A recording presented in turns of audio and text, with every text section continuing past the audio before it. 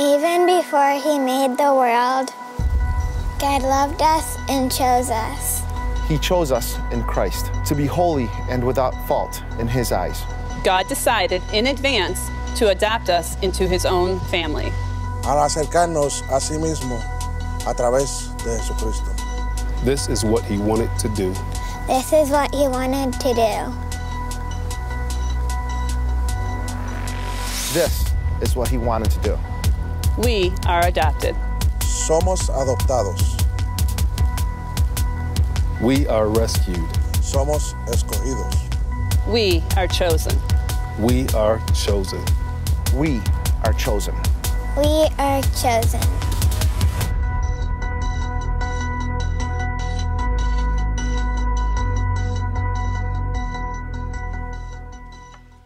Well, hey, good morning and welcome to Northridge Church. I want to welcome everybody, whether you're joining us from Henrietta, Webster, Irondequoit, or Greece, or you're driving in your car, you're at home engaging with us online, or you're a guest checking us out for the first or second time. To everybody, welcome to Northridge Church. We're honored to have you here this morning. And, you know, it's been a, a little bit of an interesting week. Uh, we, we got some snow. Seems a little early for snow. But you know, I mean, we'll just we'll take it. And you know, I, I have received a little bit of, of, responsibility for that snow because, you know, I've gotten some messages on Facebook that say, you know, if you prematurely decorate for Christmas, that the weather comes too. And I may or may not have three Christmas trees up in my house currently. I can't deny or approve that at all. And so I just want everybody to know I, I'm not skipping Thanksgiving. I am so thankful that Christmas is coming. I just needed to get that off my chest. Well, welcome to Northridge Church. Excited to have you. And this morning we're finishing up a series that we've been in for the last three weeks where we've just been walking through the, the story and the theology of the gospel through a unique lens that the New Testament gives us called adoption. And we started this journey with the theme of rejection that we are all born because of our sin, rejecting God in a hopeless situation, but God paid for our sin. He, he dealt with the ramifications that our sin brought, ultimately to redeem us. And Jesus was ratified through the resurrection that he was who he exactly said he was and that his payment was sufficient for us. And we've walked up to this point. Jesus is dead. He's rose, he's rose again. And, and, and some of you might be wondering, why in the world are we still in this series? I mean, doesn't the gospel end with the resurrection? I mean, isn't that the solidification, the verification of the story of the gospel? Jesus is alive, the gospel is over. And I want us to understand that the gospel doesn't end with the resurrection. The gospel doesn't end with the resurrection. Maybe the story of Jesus does. Maybe what Jesus came i- i- to accomplish does, but the implications for you and I, the benefits of the gospel continue far after the resurrection. And in this series, we've, we kind of sum it up in, in, in what Ephesians says. Ephesians 1, verse 5. It's been the video you've watched before I've come out each week. It says this this is the verse. It says, God decided in advance to adopt us into his own family by bringing us by bringing us to himself through Christ Jesus. That's what this series has been about the gospel, God adopting us into his family through his son's work. And it says this is what he wanted to do. And it gave him great pleasure. And that last line just blows my mind. That it brought God pleasure to adopt us. That this wasn't something God was hesitant about. Like, ah, should I save them from their sin? Uh, it wasn't something God, God questioned or thought about. This was something that He enjoyed, something that brought Him great pleasure to bring you and I into the family of God. And as we wind down this series on the gospel through that lens of adoption, we have to understand that the gospel is, is our story of how we can become a part of family, the family of God. When we believe in the gospel, when we surrender to it, we are being, we are choosing to be adopted into the family of God. You and I, I become a son of God. You become a daughter of God, and that's the, our adoption story. And we have to realize that when we become a part of God's family, it comes with some really awesome benefits. It comes with some implications for our lives in the future, and not only in the future, but our current reality today. It's much like this. You think of benefits, we often think of a position or a job. Many of you, you have jobs right now currently. Some of you are in pursuit of a job. And, and you think about that, that idea, that concept of, of trying to find a job, all the legwork is really up front. You know, you're crafting and creating a resume and you're trying to make it look good so it sticks out to companies and businesses. And so you send that resume out to multiple businesses and corporations and, and hoping that you would get an interview. And so as the process continues, you find yourself sitting in office after office talking to somebody, answering all these questions about yourself and your work habits and your strengths and your weaknesses. And the list goes on and on, and you're working through this process. But in this process to find a job, it, it begins to turn. Because when that company decides they want you to be a part of their company, it, it turns from you selling yourself to them selling you. Because they go to offer you a job, and what they do is they send you this list or they walk through this verbally, this list of benefits that you will obtain, that you will get if you choose to work for their company. And that's a lot like the gospel, a little bit is hey, when we become a part of the family of God, when we believe in the gospel and we choose to submit to the gospel, it comes with a benefit package. There's two types of benefits. I've broken them down for you there's future benefits, and then there's current benefits.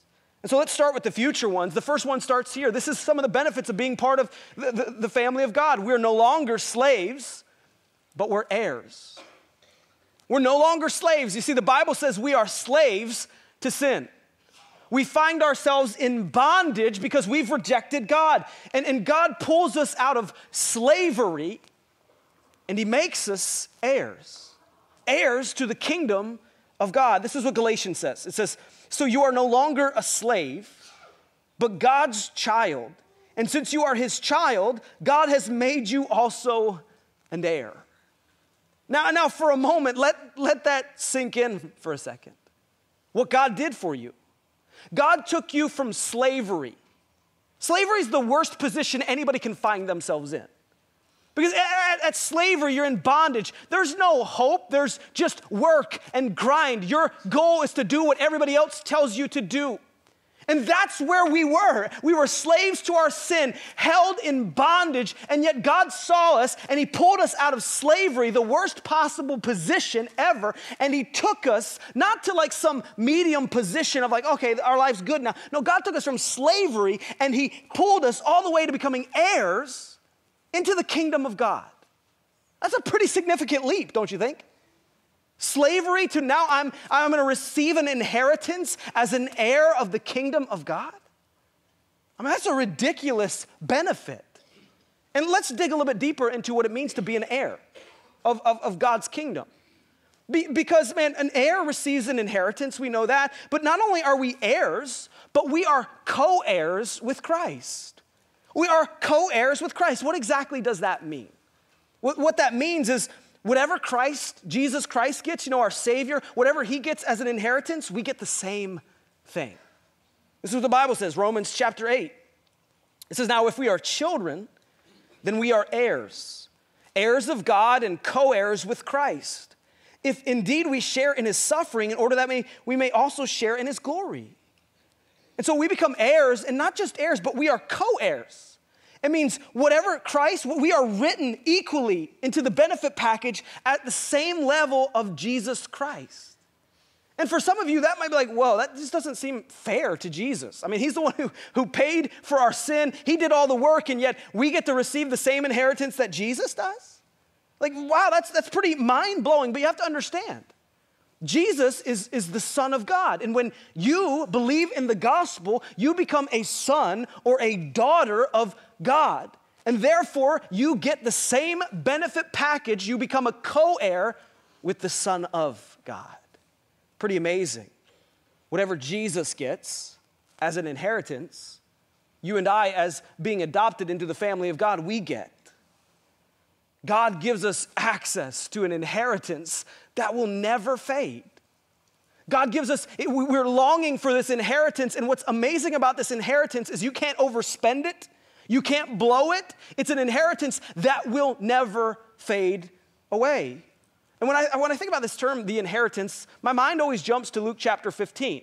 You, you might have heard this story before. If you have, I'd encourage you to read it because it's really the opposite of the inheritance that we'll receive. Luke chapter 15 is the story of the prodigal son. And in the prodigal son, he, he, the son asks his father for his inheritance. And so he gives it to him. He gives him all this cattle, this money. He receives what he was due. And he goes and he, he blows it. He squanders it in what the Bible calls wild living. And, and, and the reality is, is the inheritance that we are waiting for from Jesus Christ is an inheritance that we can't overspend. It's an inheritance that will never spoil or fade. In fact, this is what Peter says. He says, Praise be to the God and Father of our Lord Jesus Christ. In his great mercy, he has given us new birth into a living hope through the resurrection of Jesus from the dead. And look at this it says, in, and into an inheritance that can never perish, spoil, or fade. This inheritance is kept in heaven for you. How, what a blessing that we have a, future inheritance that will never perish or never spoil or fade. And then finally, the last thing we have, a last benefit, is we have an eternal home. We have an eternal home. And I think for children of God, Christians today, this, this, this blessing, this benefit should really remind us of, of something. Because I think for many Christians, we've gotten a little bit too comfortable in, in, this world. And, and the reality is, is this world was never designed to be your home. But some of us as Christians, we've gotten a little bit too cozy here on earth when God is reminding us through this benefit that, hey, you probably shouldn't get too cozy here because this isn't your home. Hebrews 13, it says this For this world is not our permanent home. We are looking forward to a home yet to come. And so, as Christians, that, that should lead us to live a little bit differently here on this earth, not to hold so tightly to the things that we, we love here, but long for that day where we get to go home with our Heavenly Father. I mean, this is a place we really, the, the verse previously says we share in Christ's suffering, and that suffering is here on earth. You see, our goal is not to get comfortable here, it's honestly to prep people and to lead people to come with us to that eternal home. But yet, some of us, we've, we've gotten a little bit too cozy here. And I don't know about you, but when you think about that term home, I mean, we got signs all in Kirkland's and everywhere, like home is where your heart is, or home is where your husband is, or home is that and that. You know. home is a big deal to us, though. I mean, I remember when I was in college, I couldn't wait to go home because home meant mama's cooking, you know? But there's something true about our homes. Like for me, I won't do certain things at other pe- people's houses that I, I would do at my home. Because there's only a certain level of comfort that you can achieve somewhere else other than your home. I mean, for example, I would never go to somebody's house and, and just kind of open their fridge and be like, oh, wow, what you got in here? Like, that's just not something I would do. Honestly, my parents would, would probably beat me if I did that in other people's houses. But another thing I would never do is I'd never go into like the master bedroom or bathroom of somebody's home. That's just kind of weird and awkward. Like, hi, it was beautiful. like, what are you doing in our bedroom? If you've ever been in my master bedroom, that's what I'm thinking when you're there. And there's just certain things, there's this level of comfort, comfortability that you have at, at your home that you can't achieve anywhere else. And honestly, I think as Christians, we've forgotten that. Because we've gotten so comfortable here that we forget about all the comforts that are waiting for us in our actual home. And this is what Jesus says in John chapter 14 about this. He says, And if I go and prepare a place for you, I will come back and I will take you to be with me so that you may also be where I am. And man, if, if you would just stop here and say, wow, that's quite a benefit package for being in the family of God. I'm, I'm, i I've gone from slavery to becoming an heir with an inheritance, and now I have a home that I long for and wait for. And, and it brings up this tension a little bit is for some of you, you might have this angst in your heart. Well, how do I know that I'm waiting for that inheritance? How do I know that, that God, I'm part of God's family? And how do I know that I, I'm longing and waiting for that inheritance? And what I love about the strategicness of God is He actually gave us a deposit to the future inheritance. Ephesians chapter 1, it says this it says, And you were also, you, and, and you were also included in Christ when you heard the message of the truth, the gospel of your salvation. That's what we've been walking through for these four weeks. The message of truth, the gospel of your salvation. It says, when you believe, when you choose to believe, you were marked in him with a seal. The promised Holy Spirit, get this, who is a deposit guaranteeing our inheritance unto the redemption of those who are God's possession to the praise of his glory name, of his glory. You see, what happens here is for some of us who, who have that angst, is the Holy Spirit is the down payment for our inheritance. You see, God, when, when you choose to believe, what that verse is saying is when you understand the truth, the truth will set you free. And the truth of the gospel is that you've been adopted into God's family. And when that happens, in the moment, God sends the Holy Spirit to live inside of you. And that is the deposit that, that can assure you of that inheritance that you can long for. Because the Holy Spirit is that down payment. But the reality is, is God doesn't just change your future. Those are things that we get to look forward to as being part of the family of God. Those are things that we long for and can't wait for. But the gospel just doesn't change your future, it changes your reality right now. And I want to walk through three benefits that are current for every Christian, that are there for your taking right now, today. And the first one is peace. Peace. I mean, doesn't that sound great? Like peace in the, in the midst of a chaotic and, and crazy world? Peace in the midst of a, of a storm that you can't see that's coming. Peace in the midst of when life turns upside down. You see, God promises His children peace. And it's a peace that your mind won't grasp. It's a peace that you won't fathom. It's a peace that those around you won't understand. In fact, Philippians says this it says, Do not be anxious about anything but in every situation, by prayer and petition with thanksgiving, present your requests to God. And so this first part is it's kind of setting up that piece. It's saying, hey, as a child of God, you don't have to worry about anything. You don't have to be anxious about how you're going to pay your bills. You don't have to be anxious about the storm you're walking through. You don't have to be anxious about that diagnosis. You don't have to be you don't have to worry about your children. Why? God answers. He says, "And the peace of God, which transcends all understanding, will guard your hearts and your minds in Christ Jesus. You see, one of the benefits of being a child of God is He gives you peace. And it's a peace that when you walk through cancer, you won't be shaken. It's a peace that when you lose somebody you love and it surprises you, it's a peace that, that, won't allow you to be shaken. It's a peace that walks through the hardest times in life and, and you're not shaken because your trust was never in those things, it was in your Savior. But yet, man, this is a, a benefit today that God offers you, but I wonder how many Christians actually live in peace. You know, when life gets really difficult, do we have peace as Christians? Because it's there for us, but do we step into the benefit? Or are we as shaken as everybody else in our culture when bad things happen? The second benefit today is, is a guide. A guide. Someone to walk with you through life, to teach you, to mold you, to break you to give you understanding. This guide is the Holy Spirit, that down payment or deposit of your inheritance. Jesus talks about him in John. He says, But the advocate, the Holy Spirit, whom the Father will send in my name, will teach you all things and will remind you of everything I have said to you. And get this, he, he reminds us of the first benefit that comes actually from our God. It says, Peace I will leave with you, my peace I will give you. I do not give to you as the world gives. Do not let your hearts be troubled and don't be afraid. So, right here in, in, the second benefit, God reminds us of the first benefit and where the first benefit comes from. It says it comes from your guide.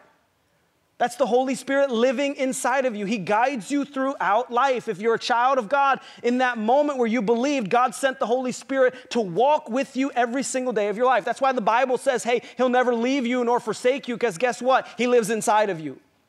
And so everywhere you go, God goes with you. Live in that confidence. And for a second, just let's just think about this for a second. Okay, last week we talked about the resurrection of Jesus.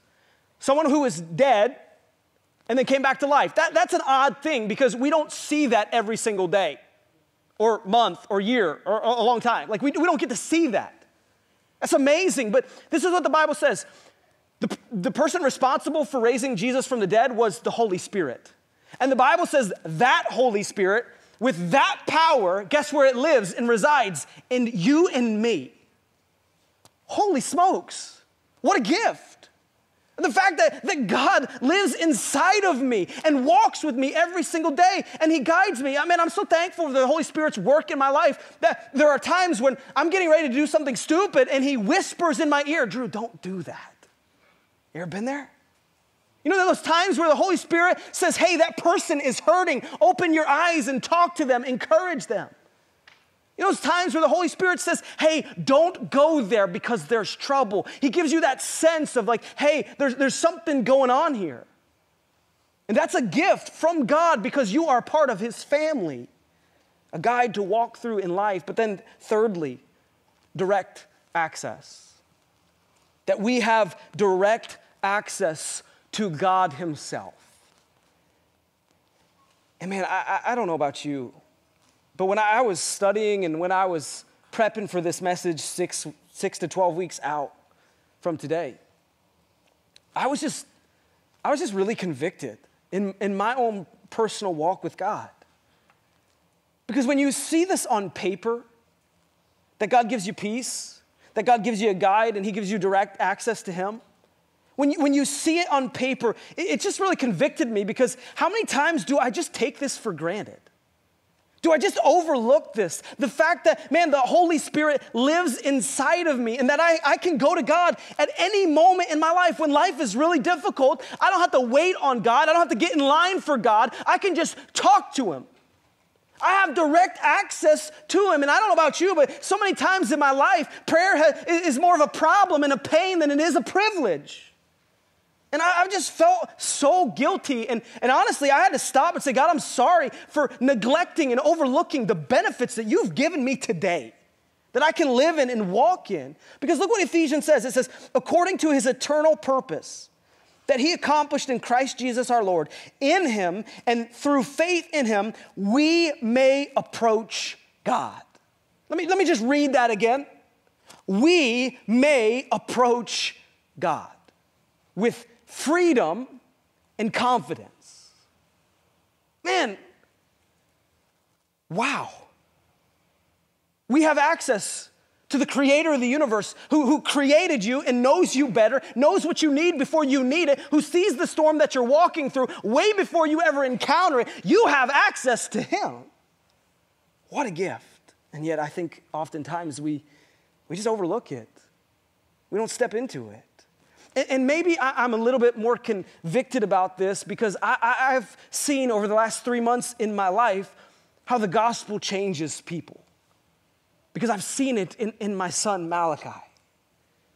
Because you see, the gospel has been working on, on, my life and in my wife's lives over the course of our marriage and the, uh, the, course of our lives. You see, the reason why we adopted is not because we're good people, it's because God's gospel is working in our lives.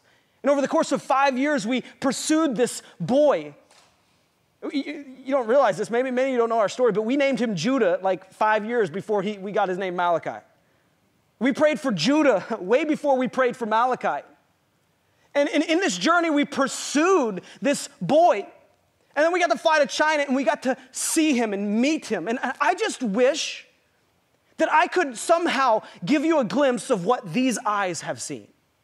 And I know we've, we've given you some picture of it because we've shown you some videos, but man, I wish you could have walked into his orphanage.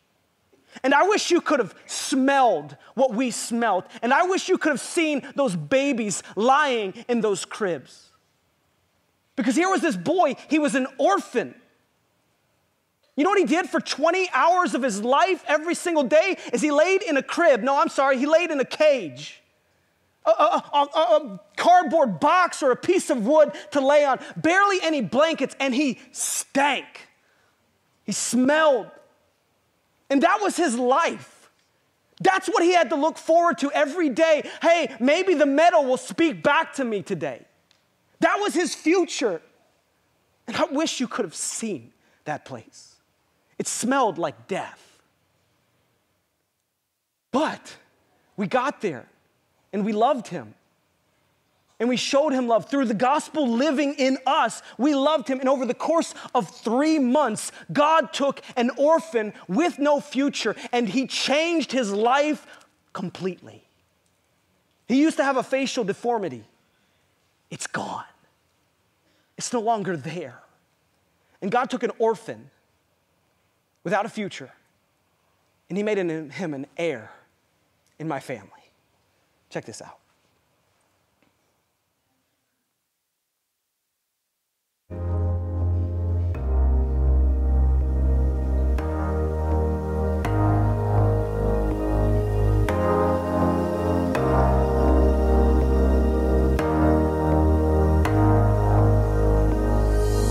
Hey guys, you ready? Come on, get in here. I'll get in the Come on, picture. Terrell. Get in. Oh my goodness. All right. All right, look. Wait, hold on. Ready? Smile, say cheese.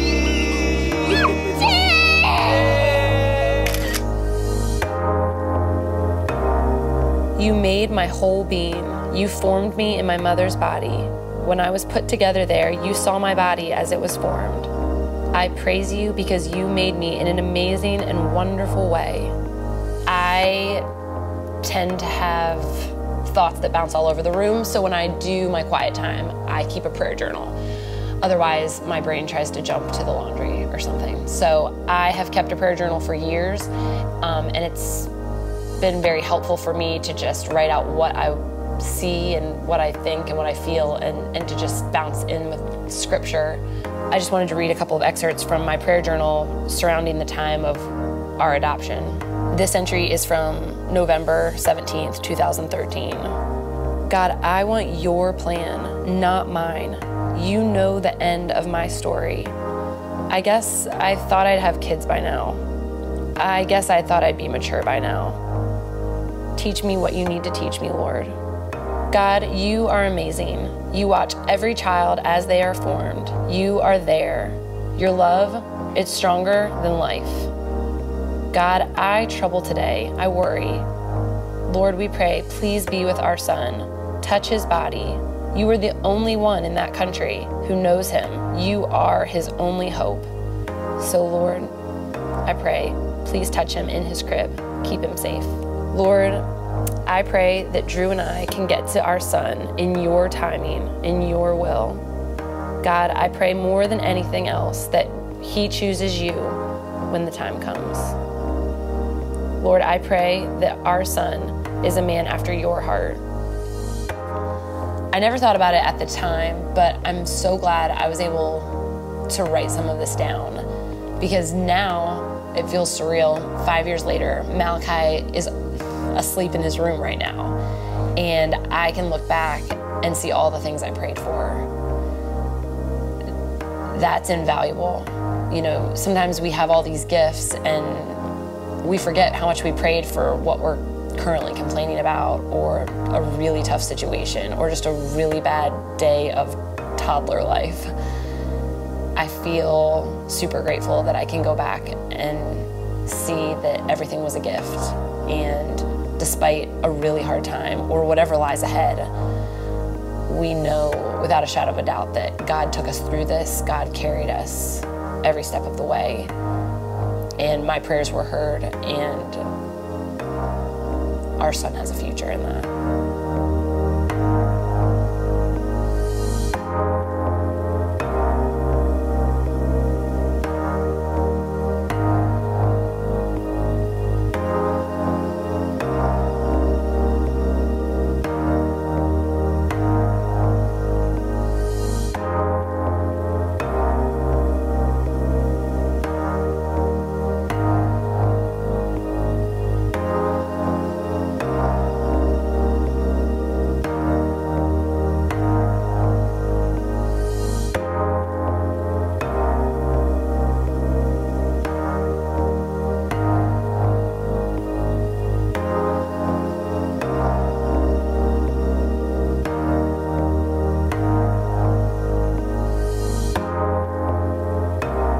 Be the first to say that we are not Malachi's savior. That's Jesus' role to play. But God has called us to play a role in his life. And being part of our family comes with benefits. It comes with food to eat every single morning at breakfast and lunch and dinner. It comes with a, a bed to sleep in at night. Not a cardboard box or not a sheet of plywood, but a mattress with covers and blankets. It comes with a family to love him. It comes with sisters, wild and crazy, spicy sisters who are gonna dance with him, kiss him, hug him, wrestle him, sometimes steal his toys. It comes with a home to live in, a place to be loved, a place to be cared for, a mom and dad to call mommy and daddy, a future, a future of a promise that we're gonna lead him and guide him to God's word and to who God is. And ultimately, the best thing, the best benefit, is that we're gonna lead him to his Savior because we recognize that we aren't his Savior. And so it comes with a home that is gonna preach and lead him to Jesus.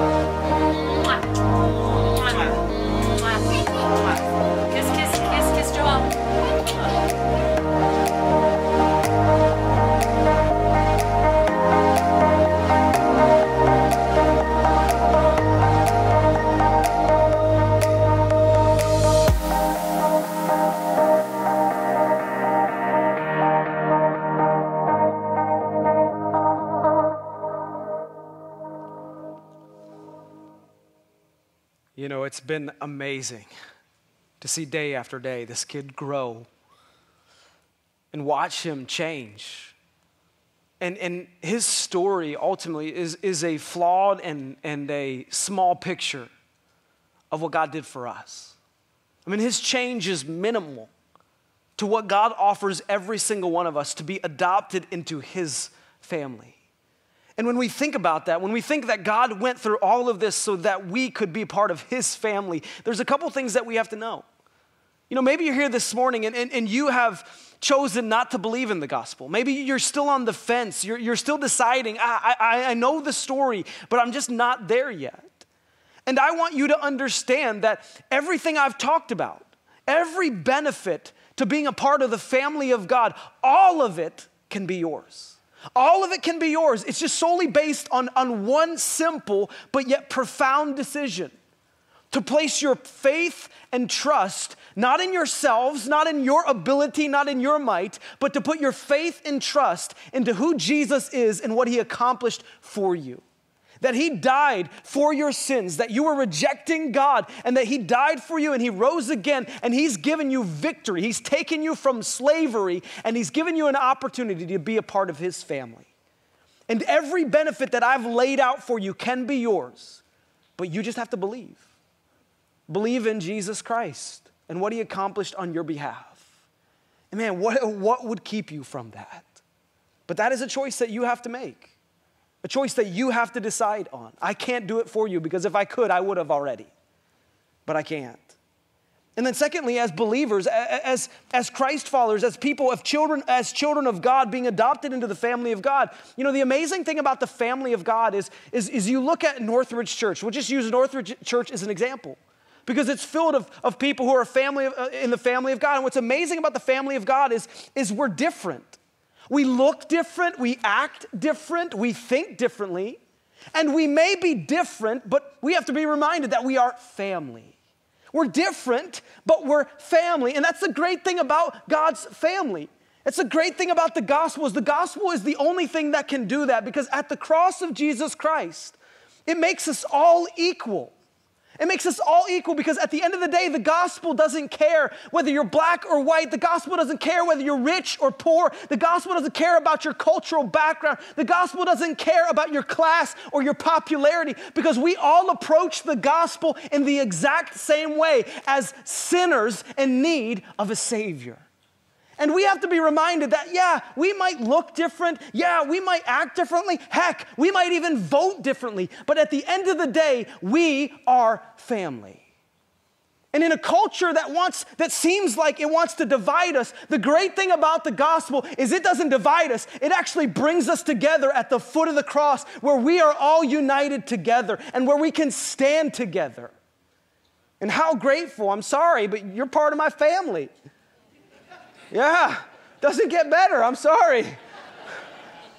And here's what I would tell you today. If, if you are part of the family of God, I would challenge you to do two things when you think about the gospel. We've walked through the gospel for four weeks, and here's, what I would, here's how I would tell you to allow the gospel to change the way you live. The first thing I would tell you to do is to live like a royal. To live like a royal. God took you out of slavery, not so you could act like a slave still. God took you out of slavery and out of bondage, and He made you an heir into His kingdom, and He's made you a royal. And so we have to live like that, and there's two implications of that. The first one is hey, we can revel in our royalty. We can be confident in what God has promised us and the, the benefits that he's, he's leading us to, and we can step into them. We can puff out our chest and be confident in not what we have done, but what Jesus has done for us. And so revel and rejoice and be thankful for what God has done for you and where He's taken you from and led you to. But the second thing about royalty that even is true about our culture today is anyone who is in a royal family, they live according to a different standard. And as we live like royals, as we live like children of Jesus Christ, children of God, we understand that God has called us to a different standard. And that standard is found in His holy word, the, the, the, Bible. And so we have to live according to the standards God has set before us. As royals, we're called to live differently. We should stand out in this world. And so live like a royal, rejoice and revel in your royalty, and live according to the standard that God has given you. And then finally, I would just tell you every single day to remember who your father is. Remember who your dad is. Because when you think about adoption, God gives you, he, he adopts you into His family, and so He is your heavenly Father. Romans 8 speaks about this. It says, For those of you who are led by the Spirit of God are children of God. The Spirit you receive does not make you slaves so that you live in fear. You, you can leave that behind, the slavery and the fear behind. Rather, the Spirit you received brought about your adoption to sonship and by him we cry, Abba. And Abba means father or daddy. And I think as, as Christians, we have to remind ourselves every single day of who our Father truly is. That God, uh, we have a, a Father who's all powerful and all knowing. And man, I, I have had the privilege in my life to have an amazing Father. I, I know many of us who, who live today weren't blessed like that, but I was. And there's one thing I, I knew about my father above everything else is he always had my back. It didn't matter how big of a mess I created or how stupid I was as a teenager. I knew my dad would always bail me out. He would always have my back. He'd punish me later, but he would always be there for me. And, and that changed the way I lived from a little boy all the way up to an adult today. Is knowing, hey, my dad has got my back. And that's the truth for every single one of you. Maybe you're here today and you didn't have a father figure like that. Well, let me tell you something God offers that to you today. He offers you a father figure who will always be there for you, who will never leave you or forsake you, but he'll walk with you and he'll guide you just like a father should. And there's gonna be times in your life as a child of God where the enemy reminds you of your past, where the enemy reminds you that you're not, you feel like you're not worth anything. And you know what you gotta tell the enemy sometimes? Hey, do you wanna know something? Do you know who my daddy is? Do you know who my father is? Because my father redeemed me and he pulled me out of slavery and he pulled me out of bondage and he says I'm worth something and he says I'm rescued and I'm redeemed. And because of who my daddy is, I don't have to listen to you anymore because I have confidence because of who my father is. And I'm telling you today, we have to live like that, that the God of the universe, we are a part of his family. And ultimately, that's the gospel that God took us as sinners without hope, and He gave us hope.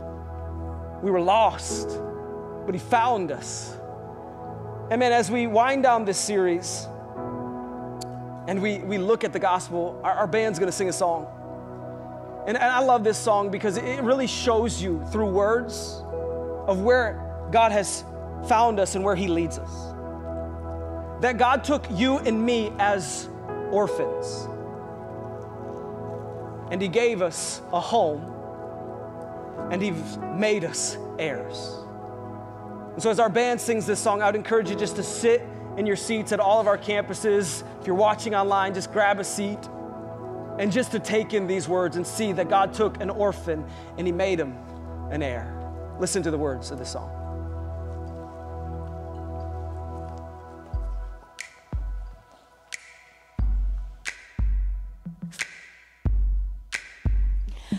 From rejected to accepted, from forgotten to remembered, from the victor to the victor.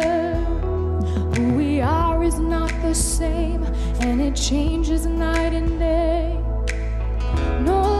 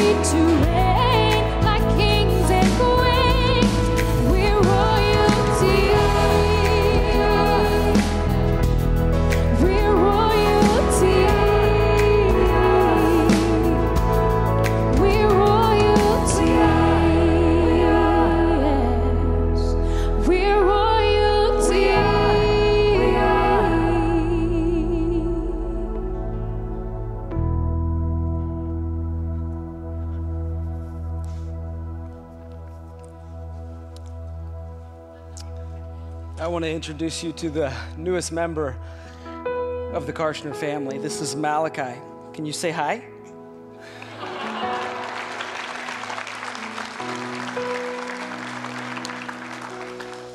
And you know, I, I, I brought him here this morning so you could see with your own eyes the power of the gospel because it's turned this little boy's life upside down.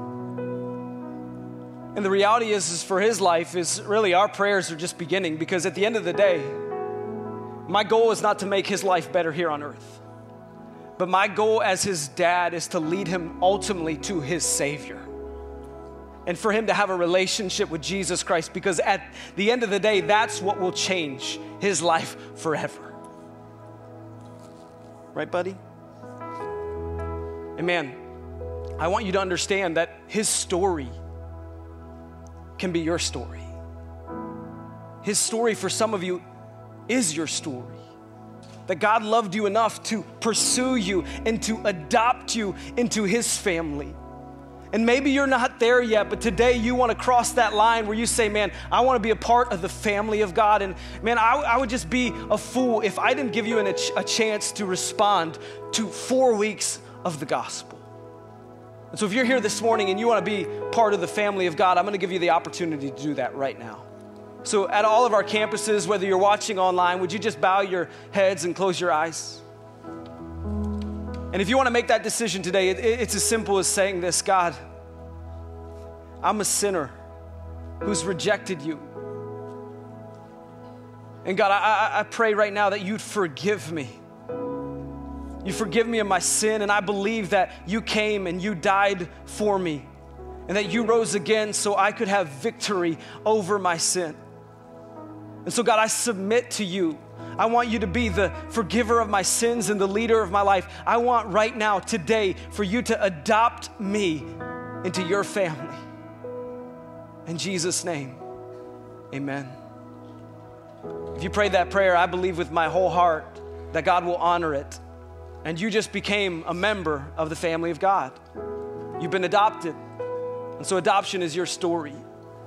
And that's something we celebrate around at Northridge Church. We celebrate the gospel. It's why we're here. It's, it's why we live differently. It's why we live Pi Square. It's why we tell the world about Jesus. And so, as we wind down this series on the gospel, at all of our locations, at your home, in your car, kind of, whether you're watching online or you're watching at one of our campuses, we're gonna stand and we're gonna rejoice and we're gonna celebrate and we're gonna sing about the gospel because the symbol of the gospel is an empty tomb because it re- represents that we were once dead, but the symbol of the grave for the gospel is dead things come alive. And God has taken us from slavery and bondage, and we were dead, and He's made us alive. And we're gonna celebrate that as a church. So let's sing this out together.